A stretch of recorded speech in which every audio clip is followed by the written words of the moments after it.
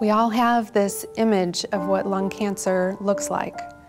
It's the 80-year-old man with a cigarette hanging out of his mouth. And because my tumors are invisible and I look healthy, people don't think that I'm sick. I had an x-ray just for a common cough, and that was what had exposed a mass in my lung. Several tests and two weeks later, it was confirmed. I had stage four lung cancer. And I'd had it in my body for five to seven years and didn't even know it.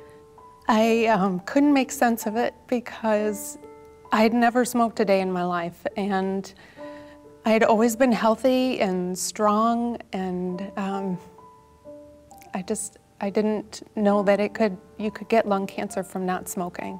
I want the public to know what the statistics are and how severe of a diagnosis lung cancer is. And they certainly don't realize that it's killing more women every year than breast cancer and has since 1987. I want people to know that it can happen to them. It can happen to anyone. It happened to me, and I certainly didn't think it would ever, ever happen to me. Well, I celebrated my 48th birthday and I don't want that to be my last.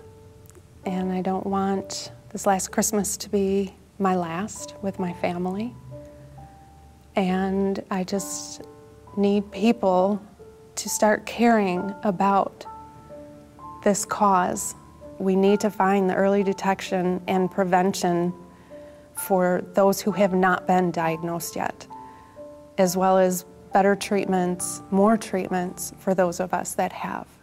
But I am just one person. I need everyone to join me raising awareness and money. So join me. Join, join us. us.